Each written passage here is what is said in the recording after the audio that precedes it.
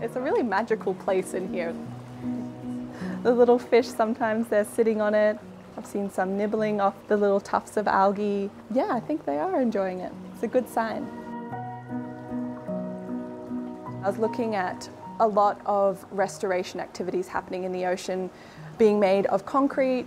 I thought, why can't you make something out of calcium carbonate? Surely there's a way that you can, you can get it to work in this environment because shells and corals do it all the time.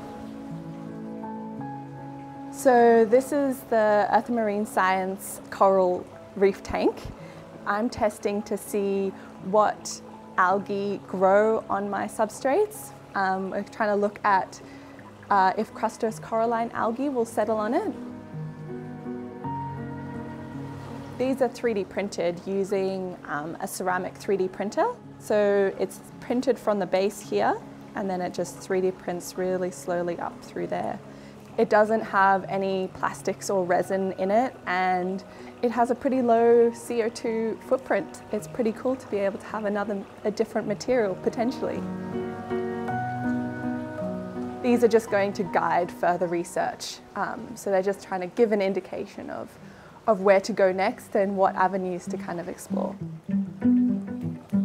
This is the biomaterial I've developed um, and at the moment I'm exploring the different possibilities of and manufacturing processes it can go through.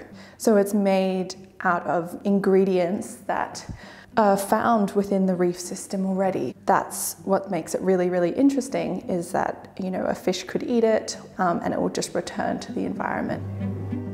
So we've got uh, the first test piece um, out of the 3D printer. I basically spent four months making failed experiments where all of my substrates were dissolving in my little test, I had little test tanks. It was kind of by a little bit of chance that this kind of worked. It was really, really exciting to kind of open the kiln and go, oh, this looks cool. So the crustose coralline algae might take a little bit longer, but at the moment we have um, some green turf algae growing, so you can see that here, little tufts. And yeah, I think so far they're doing, they're holding up pretty well. Kind of the way that I'm going about the experimentation is very scientific, but I'm, it's also experimental in a design sense. So it's kind of combining those two things.